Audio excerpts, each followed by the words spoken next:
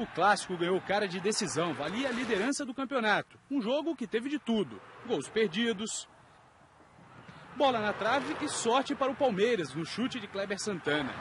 Bola na mão. Não teve intenção o jogador do Santos, pra, o Ronaldo, para cortar a bola com a mão. Involuntário, repito, nada marcado. Brigando pelo rebate o time do Santos, olha a virada do Geilson. A bola bateu no Correia. A torcida reclama toque de mão. Sai, ele tenta tirar o braço, ele gira, ainda fecha os olhos para não receber a bolada no rosto. Nada marcado. Ia ter golaço, mas Marcinho errou. Fábio Costa fez ótima defesa no chute de Juninho. E Geilson viu de novo a trave parar o Santos. O Santos mudou. Com Léo Lima e Reinaldo ficou mais ofensivo. Forçar um pouquinho mais para tentar ganhar o jogo agora. O Endel ia entrar, parou a conversa com Luxemburgo e gritou: Vai, vai, vai, golaço!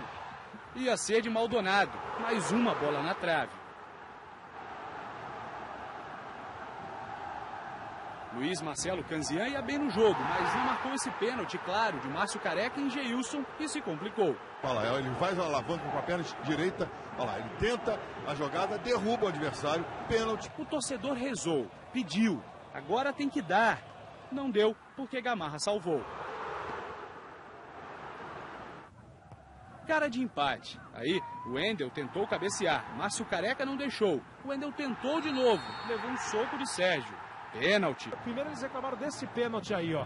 Do Márcio Careca no Wendel. Esse foi? Foi também. Foi agarrado, ele está gesticulando, ele tenta cabecear, não, foi, não houve condição de jogar. Sair Penalidade chão, nessa. né? Exatamente. Pênalti aí e depois pela ele. Vai e acerta o adversário errando a bola. Até quem não é bom em leitura labial viu que, ao reclamar, Leão falou que não devia.